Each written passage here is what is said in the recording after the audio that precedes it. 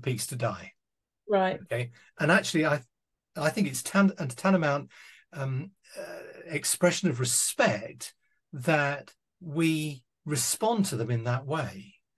So, for instance, I would never pray for somebody in a way that they weren't able to accept or didn't want me to over anything, Okay.